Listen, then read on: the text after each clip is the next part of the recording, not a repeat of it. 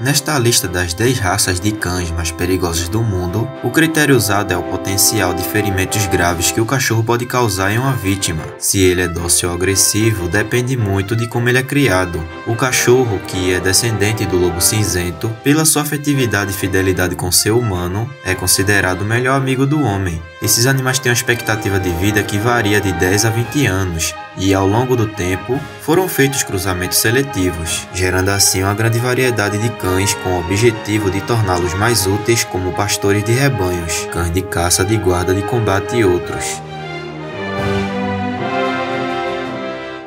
Fila o fila, o mastim brasileiro, é um cão de guarda e já foi muito usado na época dos bandeirantes para protegê-los de ataques de onças e nativos e recapturar escravos, caçar javalis pela sua imensa capacidade de rastreamento. Uma das principais características do fila é a extrema devoção ao dono e crianças da família, mas esses cães rejeitam severamente estranhos, sendo muito agressivos, a não ser que estejam acompanhados dos donos.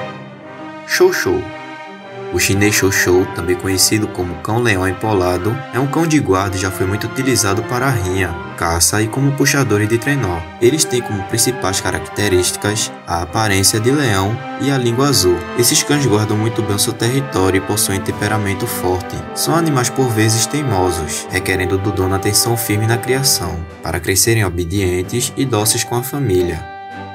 Doberman em oitavo das raças de cachorro mais perigosas do mundo está o Doberman, que se originou da Alemanha e é um excelente cão de guarda. Há dois tipos, o americano e o europeu, que é o mais robusto e o mais forte. Este cão foi criado por Carl F. L. Doberman, um coletor de impostos que precisava de segurança para carregar o dinheiro em áreas perigosas.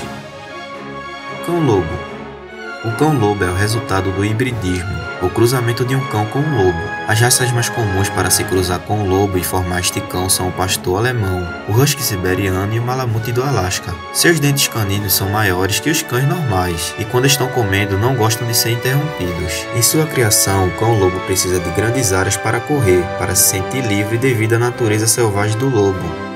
Husky siberiano o husky siberiano foi desenvolvido para puxar trenós. Esses cães suportam frio intenso e são ágeis para puxar cargas leves em longas distâncias. Três filmes já foram feitos sobre um caso que ocorreu em 1925, quando uma epidemia em crianças se alastrou em uma região do Alasca, e por causa da dificuldade de transporte de medicamento devido às nevascas. Esses cães foram o único meio possível usado para carregar esses medicamentos num trajeto que chegava até 1.600 quilômetros. Malamute do Alasca.